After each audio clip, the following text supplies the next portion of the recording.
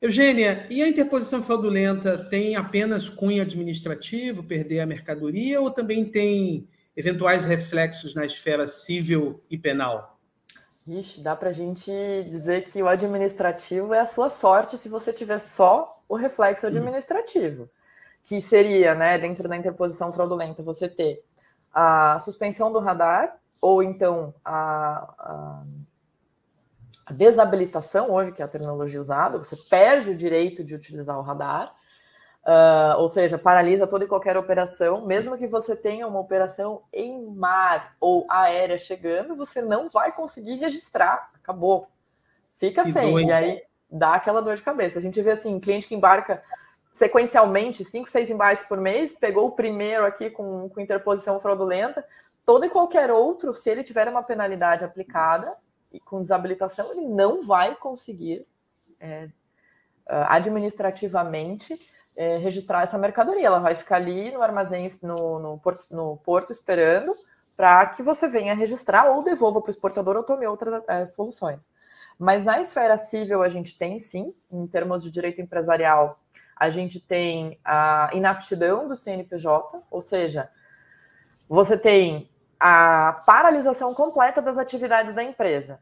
Em que sentido? O banco vai encerrar sua conta bancária com o dinheiro que está ali dentro. Se você tiver empréstimo bancário, ele vai vencer antecipadamente. Então, se tem empréstimo bancário, você tinha lá um Finimp, tinha lá uma linha de crédito super boa, como você não tem mais CNPJ, você morreu. Se você morreu, tudo que está relacionado a você vence. E aí é você tem que pagar você não vai conseguir fazer o pagamento dos teus empregados, nem a, o registro dentro dos sistemas da Previdência dos teus empregados. É, isso são só repercussões. E na esfera criminal, você vai ter, sim, é, que comprovar que você não cometeu fraude. Porque a interposição fraudulenta, como bem diz no nome, tem a ver com fraude. E fraude é um crime que pode ser cometido por N formas. E aí o Ministério Público Federal, por meio de uma representação feita pela Receita Federal, essa representação é uma obrigação do fiscal, uma vez que ele conclua pela interposição fraudulenta, ele tem que representar.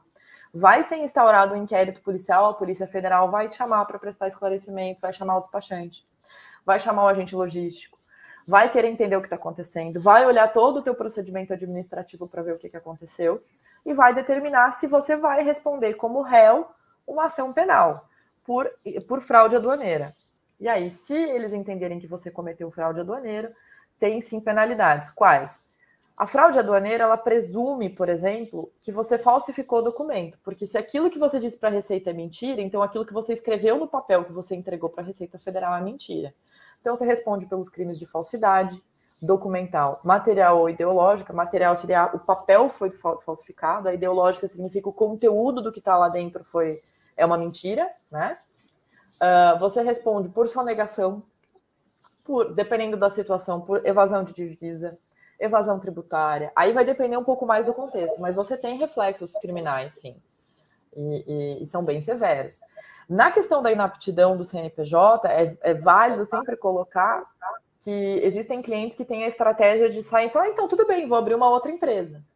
Qual que é o problema de abrir uma outra empresa? Você herda no teu CPF a, o histórico do teu CNPJ. A receita que vai avaliar a tua outra empresa é a mesma Receita Federal que te aplicou a pena de interposição fraudulenta. E eles têm sistemas ultramodernos hoje em dia.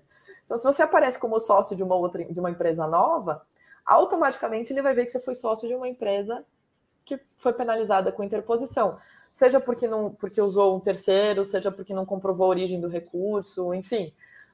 Independentemente da razão, se você foi penalizado por interposição, você vai ter um problema.